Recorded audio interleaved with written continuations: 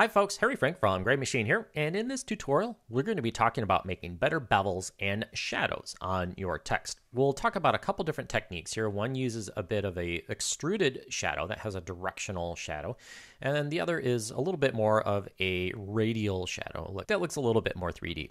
I'm going to drop in some uh, text here that is pre-composed inside another comp. I'll actually have two duplicates of that. So I can either drag it down twice or I can just duplicate it. But this is essentially just text with the After Effects text tool put inside a composition. This way I can have one place to edit my text, but two different layers here. One I can use for the beveled foreground, and then one will be the shadow in the background. In fact, I'm going to relabel this lower layer, the shadow layer. This first effect, like I said, is going to be using a vector blur. So let's go into our blur section and add CC vector blur.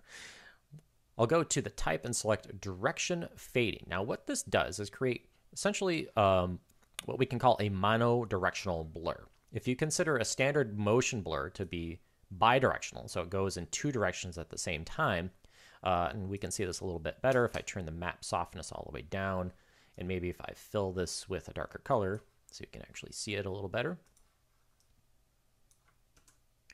So this is more of a standard directional blur, kind of like a motion blur. It goes in opposite directions away from the center of the source.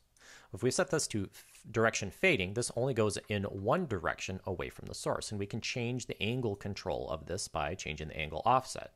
Now, you can see that we've got a little bit of weirdness going on in here. Uh, and this is basically from the revolutions here. So let me turn this map softness back up to 15, which is its default you can see it's kind of cycling through the process a few times. You can see that we've got these kind of layers that happen as it uh, starts from the source and then blurs outward. So if I soften this even more and turn the revolutions up, you can see more of these kind of rings around the source. So to make this kind of a clean looking shadow, we'll actually just set the revolutions here down to zero. And this will make for a clean edge when we overlay the, set, the text on top. That's mostly what we need to do. I'm going to turn this amount down to, let's say about 30, because we're not making really long shadows here. We're just making slightly extruded shadows. And we'll change the uh, angle offset, and we'll move it around so it's pointing down and to the right. And let's turn on our foreground text. I like to exaggerate this a bit by adding some levels control. So I'll go to color correction and add levels. And I don't think it really makes much difference in terms of what order I've got, if I fill this first or do the levels first, but uh, I'm going to do the levels first and then fill it with that gray. So in my levels, I'm going to make sure to select my alpha channel, and then we're going to crush the alpha channel a little bit to make those shadows a lot darker. So I'll bring the input white down. We can also adjust the gamma if you'd like it a little less faded, a little sharper. So you can fine tune it from there, salt and pepper to taste. Um, you can also use the output white to adjust the overall opacity without having to reach for your uh, opacity control down here because we're already controlling the alpha channel. So let's talk about bevels now. Now, you probably know about the perspective bevel alpha control, and this, you know, can work okay, but it's a little played out and doesn't have a whole lot of control. When I need to bevel my text, usually what I do is reach for stylize and CC glass. Now, by default looks a little weird, so we need to tweak this quite a bit. So let's go into all of our controls here. We'll be tweaking all this stuff. So we'll go to this displacement. Turn this way down. We'll set this to about 4. Now we can see that we've already got something pretty interesting going on here. Now I found my settings are pretty much locked around 4, 4, and 4 for softness, height, and displacement. You can get lots of different looks by playing with these, but what you end up with is a very subtle but very noticeable effect that isn't just a sharp bevel. Now, if you'd like to enhance the shading that's going on in here, we can turn down the diffuse just a little bit, not until it gets gray, but then you can turn up the specular here, and you can see this as I move the light direction around. Like so. Let me zoom in on this to make sure everybody can see this. Now, if you want to get tricky, we can actually link the light direction to the shadow direction. So let's say I'm mostly going to be adjusting the light direction here. So I'm going to go to my vector blur So I'll create an expression for the angle offset, and then we'll pick whip the light direction. Now I've found that uh, we need to offset this by 180 degrees because they're not quite aligned. So now as I change the light direction and those uh, specular highlights change, we change the shadow as well. So that's one technique. So we're using CC Glass for the beveling and some clever use of CC Vector Blur. And we've already kind of created a, a, different look that is not just the standard drop shadow, not just the standard long shadow, but something a little bit more in between that I think is really interesting.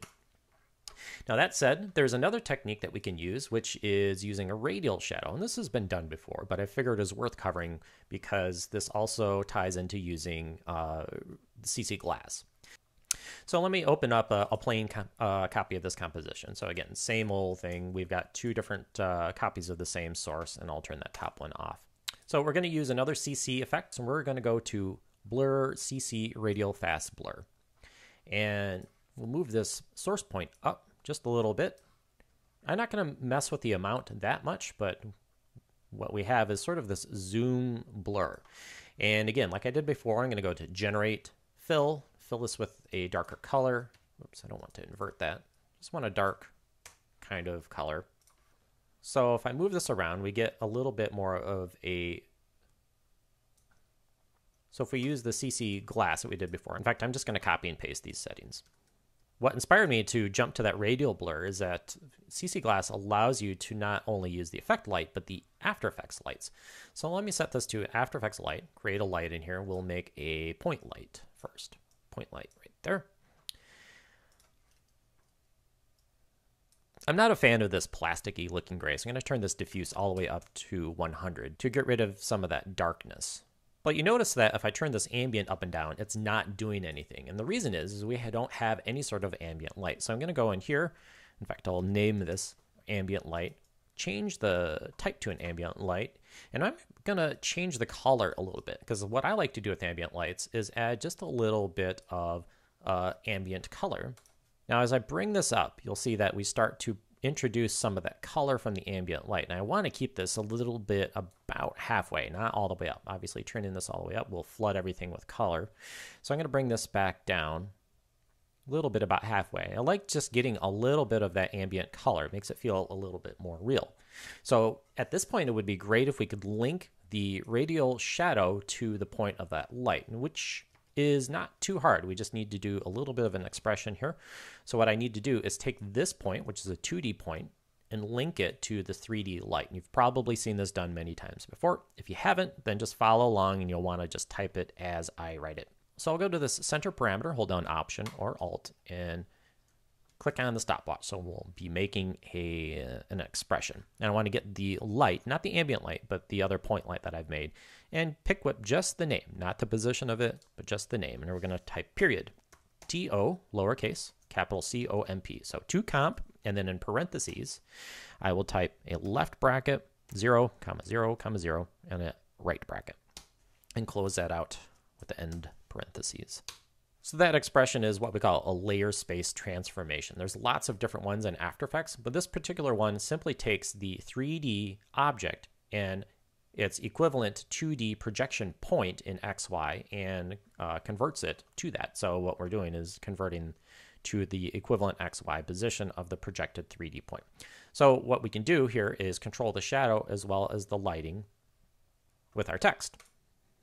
So there you have it, two different types of shadows as well as some variation on creating nice looking bevels that don't use the standard bevel plugin in After Effects. I hope you enjoy and learned something. My name's Harry Frank. Thank you so much for watching.